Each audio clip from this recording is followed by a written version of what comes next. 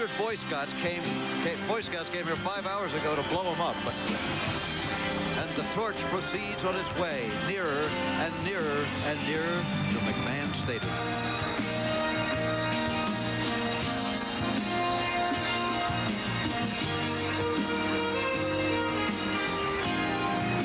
Think that looked better today? Everyone asks. Corinthian leather. Of course, why not the best?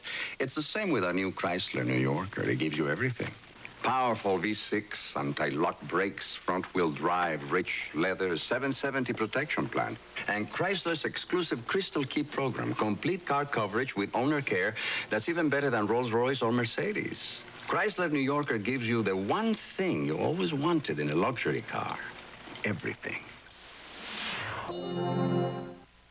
U.S. competitor, 21-year-old Olympic spirit. It's in all of us who watch and believe. It makes us a nation of neighbors, and it makes us feel good. Clearly in the lead. Good if we win, good if we don't. Good no matter where we are. For all of us who wear pride like a gold medal, this is a salute to Olympic spirit from Maxwell House. Coffee that's good. Good to the last drop. Leave it to the good hands, people. Compassion. You can't teach it or place too great a value on it. But you could measure it down this very road on the morning of June 23rd. In the actions of Allstate claims adjuster Don Mulder, who at 5 a.m. drove 60 miles to a fire site. All just to shorten the distance between a man's loss and a man's recovery. People like Don Mulder. Another reason You're in good hands with Allstate.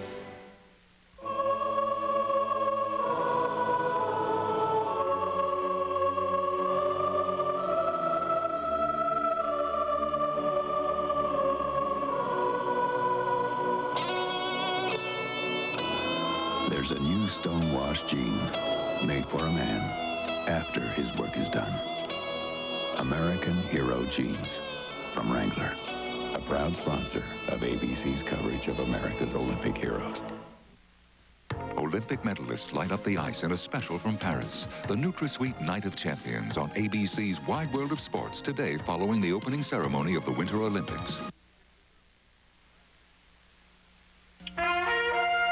The second Olympic Winter Games took place in the posh resort of St. Moritz, Switzerland. 25 nations competed, and so did the Föhn, that warm southern wind that melted ice and snow, canceling the 10,000-meter speed skating event. It was here that Sonja Henie won her first of three Olympic titles and elevated figure skating to an art form. Well, the Föhn that Jack Whitaker referred to there is known as the Chinook around here. And a couple of days ago, we had one.